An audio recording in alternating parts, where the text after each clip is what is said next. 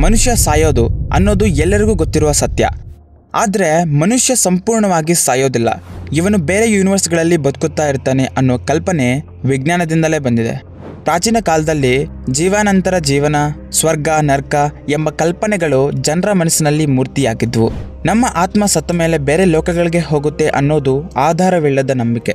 ಆದರೆ ಇವೆಲ್ಲ ಕೇವಲ ಕಥೆಗಳಾಗಿದ್ದರೂ ಇಂದಿನ ಕ್ವಾಂಟಮ್ ಮೆಕ್ಯಾನಿಕ್ಸ್ ಈ ಕಲ್ಪನೆಗಳಿಗೆ ಹೊಸ ಬೆಳಕನ್ನು ತೋರಿಸಿದೆ. ಇದು ಹೇಳುತ್ತೆ, ನಮ್ಮ ಬ್ರಹ್ಮಾಂಡ ತುಂಬ ವಿಚಿತ್ರವಾಗಿ ಮತ್ತು ಅಸಾಧಾರಣವಾಗಿ ಕೆಲಸ ಮಾಡುತ್ತೆ. ನಾವು ಸಾಯೋದು ಕೇವಲ ಈ ಯೂನಿವರ್ಸ್ನಲ್ಲಿ ಅನ್ನೋದು ಸತ್ಯ. ನಮ್ಮ ಕಾನ್ಷಿಯಸ್ನೆಸ್ ಇನ್ನೂ ಪ್ಯಾರಲಲ್ ಯೂನಿವರ್ಸ್ಗಳಲ್ಲಿ ಜೀವಿಸೋಕೆ ಸಾಧ್ಯತೆ ಇದೆ. ಪ್ಯಾರಲಲ್ ಯೂನಿವರ್ಸ್ ಅನ್ನೋದು ವಿಜ್ಞಾನದಲ್ಲಿ ತುಂಬ ದೊಡ್ಡ ಕಲ್ಪನೆ. ಇದು ಹೇಳೋದೇನೆಂದರೆ, ನಮ್ಮ ಬ್ರಹ್ಮಾಂಡ ಕೇವಲ ಒಂದು ಮಾತ್ರ ಅಲ್ಲ, ಬದಲಿಗೆ ಅನೇಕ ಯೂನಿವರ್ಸ್ಗಳು ಒಂದೇ ಸಮಯದಲ್ಲಿ ಇರುವ ಸಾಧ್ಯತೆ ಇದೆ ಕ್ವಾಂಟಮ್ ಮೆಕ್ಯಾನಿಕ್ಸ್ ಪ್ರಕಾರ ಪ್ರತಿ ದೊಡ್ಡ ಅಥವಾ ಚಿಕ್ಕ ಕ್ರಿಯೆಯ ಪರಿಣಾಮವಾಗಿ ಹೊಸ ಲೋಕ ಹುಟ್ಟಬಹುದು. ಉದಾಹರಣೆಗೆ, ನೀವು ಒಂದು ನಿರ್ಧಾರ ತೆಗೆದುಕೊಳ್ಳುವಾಗ ಎಲ್ಲ ಆಯ್ಕೆಗಳಿಗೆ ಪ್ರತ್ಯೇಕ ಯೂನಿವರ್ಸ್ಗಳು ನಿರ್ಮಾಣವಾಗುತ್ತದೆ.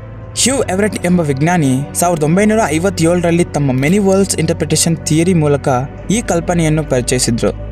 ಈ ತತ್ವ ಪ್ರಕಾರ ಪ್ರತಿಯೊಬ್ಬ ಮನುಷ್ಯ ಮತ್ತು ಪ್ರತಿ ಕೃತ್ಯ ಅನೇಕ ಯೂನಿವರ್ಸ್ಗಳ ಭಾಗ.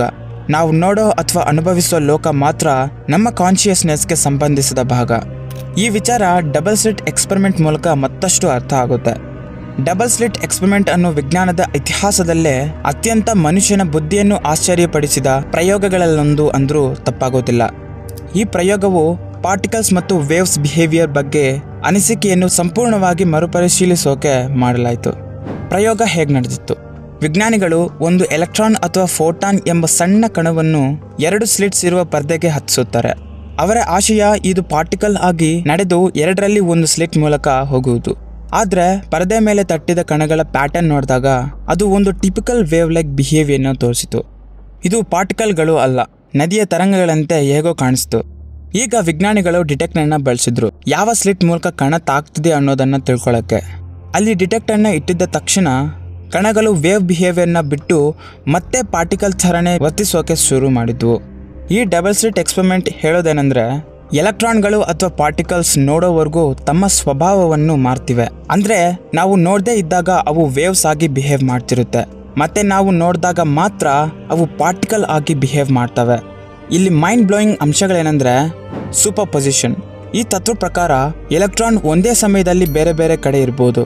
ನೀವು ಅದನ್ನು ನೋಡಿದಾಗ ಮಾತ್ರ ಅದು ನಿರ್ದಿಷ್ಟ ಸ್ಥಳದಲ್ಲಿ ಕಾಣಿಸುತ್ತೆ.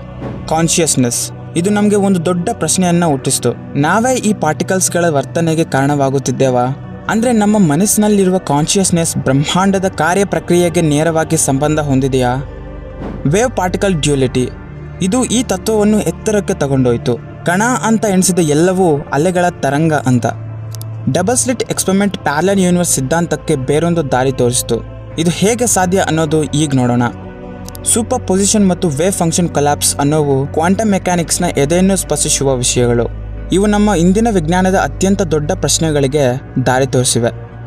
ಸೂಪರ್ ಪೊಸಿಷನ್ ಪ್ರಕಾರ ಒಂದು ಕಣ ಒಂದೇ ಸಮಯದಲ್ಲಿ ಅನೇಕ ಸ್ಥಳಗಳಲ್ಲಿ ಇರ್ಬೋದು. ಉದಾಹರಣೆಗೆ, ಇಮ್ಯಾಜಿನ್ ಮಾಡ್ಕೊಳ್ಳಿ, ನೀವು ಒಂದು ರೂಮ್ನಲ್ಲಿ ಸಿಟ್ಟಿಂಗ್ ಲ್ಯಾಂಪ್ನ ಇಟ್ಕೊಂಡಿದ್ದೀರಾ.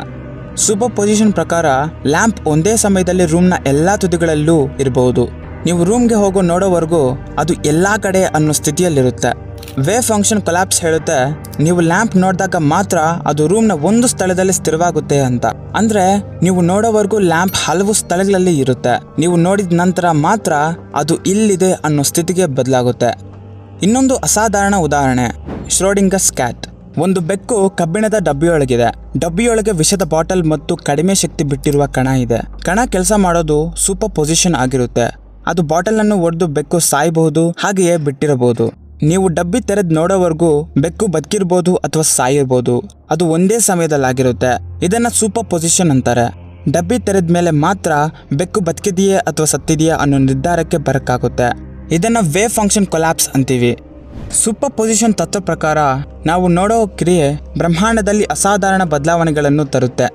ಇಲ್ಲಿ ಒಂದು ಪ್ರಶ್ನೆ. ನಮ್ಮ ಕಾನ್ಷಿಯಸ್ನೆಸ್ ಬ್ರಹ್ಮಾಂಡದ ಕೆಲಸ ಮಾಡೋ ರೀತಿಗೆ ನೇರ ಪರಿಣಾಮ ಬೀರುತ್ತದೆಯಾ? ನಾವು ನೋಡದೇ ಇದ್ದಾಗ ಯಾವುದು ನಿಶ್ಚಿತ ಅಲ್ಲ. ನಾವು ನೋಡಿದಾಗ ಮಾತ್ರ ಪಾರ್ಟಿಕಲ್ಗಳು ತಮ್ಮ ವಿಭಿನ್ನ ವರ್ಷನ್ಸ್ನ ಬಿಟ್ಟು ಒಂದು ನಿಖರವಾದ ರೂಪಕ್ಕೆ ಬರುತ್ತೆ. ಹ್ಯೂ ಎವರೆಟ್ ಮತ್ತು ಮೆನಿ ವರ್ಲ್ಡ್ಸ್ ಇಂಟರ್ಪ್ರಿಟೇಷನ್ ಈ ತತ್ವವನ್ನು ಹೇಗೆ ವಿಸ್ತರಿಸಿತು ಅನ್ನೋದು ಈಗ ನೋಡೋಣ. ಹ್ಯೂ ಎವರೆಟ್ ಕ್ವಾಂಟಮ್ ಮೆಕ್ಯಾನಿಕ್ಸ್ಗೆ ದೊಡ್ಡ ಪುಟ ಸೇರಿದ ವಿಜ್ಞಾನಿ. ಸಾವಿರದ ಒಂಬೈನೂರ ಐವತ್ತೇಳರಲ್ಲಿ ಅವರ ಮೆನಿ ವರ್ಲ್ಡ್ಸ್ ಇಂಟರ್ಪ್ರಿಟೇಷನ್ ಸಿದ್ಧಾಂತವನ್ನು ಪರಿಚಯಿಸಿದ್ರು. ಇದು ಕ್ವಾಂಟಮ್ ಮೆಕ್ಯಾನಿಕ್ಸ್ನಲ್ಲಿ ದೊಡ್ಡ ಪಾಠವಾಗಿದೆ. ಮೆನಿ ವರ್ಲ್ಡ್ಸ್ ಇಂಟರ್ಪ್ರಿಟೇಷನ್ ಅಂದ್ರೆ ಏನು? ಈ ಥಿಯರಿ ಪ್ರಕಾರ ಪ್ರತಿ ನಿರ್ಧಾರ ಅಥವಾ ಘಟನೆ ಬೇರೊಂದು ಯೂನಿವರ್ಸ್ ಸೃಷ್ಟಿಸಲು ಕಾರಣವಾಗುತ್ತೆ. ಪ್ರತಿಯೊಂದು ಪಾರ್ಟಿಕಲ್ ತನ್ನ ಸೂಪರ್ ಪೊಸಿಷನ್ ಸ್ಥಿತಿಯನ್ನು ಬಿಟ್ಟು ಹಲವಾರು ಯೂನಿವರ್ಸ್ಗಳಲ್ಲಿ ಸ್ಪ್ಲಿಟ್ ಆಗಿರುತ್ತೆ. ಅಂದರೆ ಒಂದೇ ಸಮಯದಲ್ಲಿ ಹಲವು ಲೋಕಗಳು ನಮ್ಮ ಸುತ್ತ ಕೆಲಸ ಮಾಡ್ತಿವೆ. ಉದಾಹರಣೆಗೆ, ನೀವು ಒಂದು ನಾಣ್ಯ ಎಸೆಯಿರಿ. ಇದು ಹೆಡ್ ಬಿದ್ದರೂ ಟೇಲ್ ಬಿದ್ದರೂ ಎರಡು ಪ್ರತ್ಯೇಕ ಲೋಕಗಳಾಗಿ ಸೃಷ್ಟಿಯಾಗುತ್ತೆ. ಒಂದರಲ್ಲಿ ನೀವು ಹೆಡ್ ಅನ್ನು ನೋಡ್ತೀರಾ, ಮತ್ತೊಂದರಲ್ಲಿ ನೀವು ಟೇಲ್ ಅನ್ನು ನೋಡ್ತೀರಾ. ಶ್ಯೂ ಎವರೆಟ್ ಹೇಳಿದ್ರ ಪ್ರಕಾರ, ಪ್ರತಿ ನಿರ್ಧಾರ ಮತ್ತು ಕ್ರಿಯೆ ಬೇರೆ ಯೂನಿವರ್ಸ್ಗಳಲ್ಲಿ ಪ್ರತ್ಯೇಕವಾಗಿ ಮುಂದುವರಿಯುತ್ತೆ. ಪ್ರತಿ ಆಟೋಮ್ ತನ್ನದೇ ಆದ ದಾರಿಯನ್ನು ತೋರಿಸುತ್ತೆ. ನಾವು ನೋಡೋ ಮತ್ತು ಅನುಭವಿಸೋದು ಕೇವಲ ನಮ್ಮ ಯೂನಿವರ್ಸ್ನ ಒಂದು ಭಾಗ ಅಷ್ಟೇ.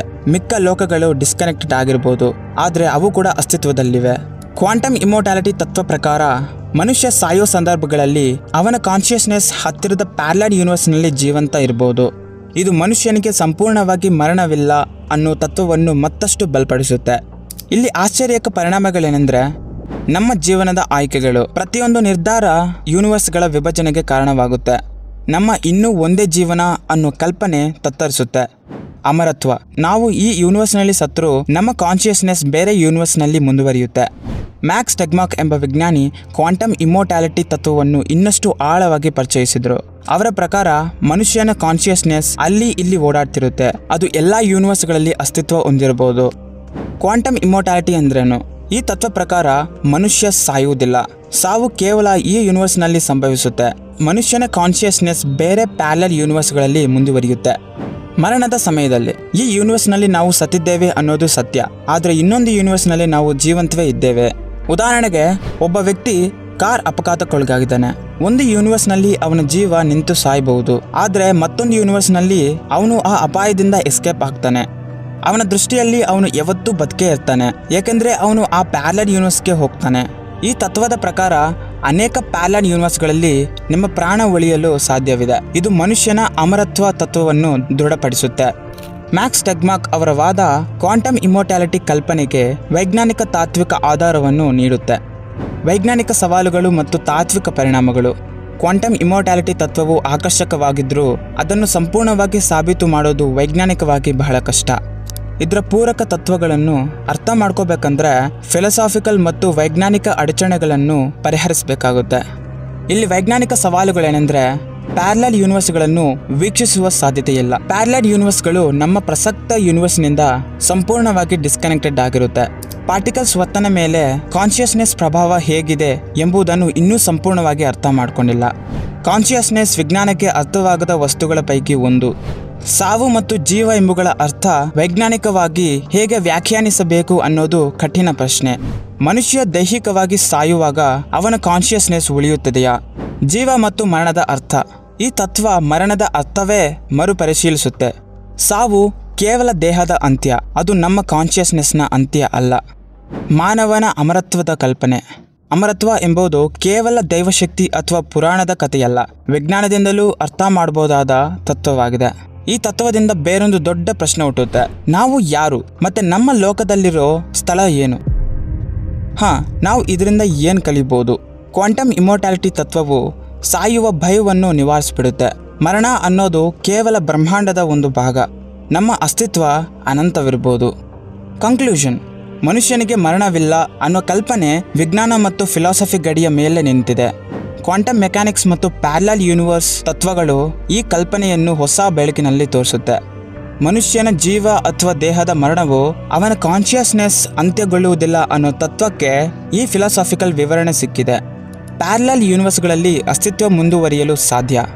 ಪ್ರತಿ ಕಣ ಒಂದೇ ವೇಳೆ ಅನೇಕ ಸ್ಥಳಗಳಲ್ಲಿ ಇರೋ ಸಾಧ್ಯತೆಯನ್ನು ತೋರಿಸುತ್ತೆ. ಅದೇ ರೀತಿ ಮನುಷ್ಯನ ಅಸ್ತಿತ್ವ ಸಹ ಒಂದೇ ಸಮಯದಲ್ಲಿ ಅನೇಕ ಯೂನಿವರ್ಸ್ಗಳಲ್ಲಿ ಇರಬಹುದು. ಮನುಷ್ಯ ಈ ಲೋಕದಲ್ಲಿ ಸಾಯ್ಬೋದು. ಆದರೆ ಕ್ವಾಂಟಮ್ ಇಮೋಟಾಲಿಟಿ ಸಿದ್ಧಾಂತದ ಪ್ರಕಾರ ಅವನು ಇನ್ನೂ ಬೇರೆ ಪ್ಯಾರಲಲ್ ಯೂನಿವರ್ಸ್ನಲ್ಲಿ ಜೀವಂತವಿರುತ್ತಾನೆ. ಈ ತತ್ವ ಏನು ಹೇಳುತ್ತೆ? ನಾವು ಯಾರಾಗಿದ್ದೇವೆ, ನಮ್ಮ ಜೀವನದ ಅರ್ಥವೇನು ಎಂಬುವು ಬ್ರಹ್ಮಾಂಡದ ಅನೇಕ ಅನುಮಾನಗಳ ರೆಸ್ಪಾನ್ಸಿಬಲ್ ಆಗಿದೆ. ಈ ತತ್ವವು ಜ್ಞಾನಕ್ಕಿಂತಲೂ ಭಾವನಾತ್ಮಕ ತೃಪ್ತಿಯನ್ನು ಕೊಡುವುದು. ಮನುಷ್ಯ ಸಾಯೋದಿಲ್ಲ ಅನ್ನೋ ಕ್ವಾಂಟಮ್ ಇಮೋಟಾಲಿಟಿ ತತ್ವವು ನಮ್ಮ ಜೀವನದ ಬಗ್ಗೆ ಹೊಸ ಮನೋವಿಜ್ಞಾನವನ್ನು ರೂಪಿಸುತ್ತೆ. ಸಾವು ಎಂದರೆ ಹೊಸ ಆರಂಭ, ಅಸ್ತಿತ್ವ ಎಂದರೆ ಅನಂತ. ಈ ತತ್ವವನ್ನು ಸಂಪೂರ್ಣವಾಗಿ ಸಮರ್ಥಿಸಲು ಇನ್ನೂ ಸಾಕಷ್ಟು ಕೆಲಸ ಮಾಡುವ ಅಗತ್ಯ ಇದೆ. ಆದರೆ ಅದು ನಮ್ಮ ಭಾವನೆಗಳು, ಭಯಗಳು ಮತ್ತು ಜೀವನದ ನೋಟವನ್ನು ಪರಿವರ್ತಿಸುತ್ತೆ.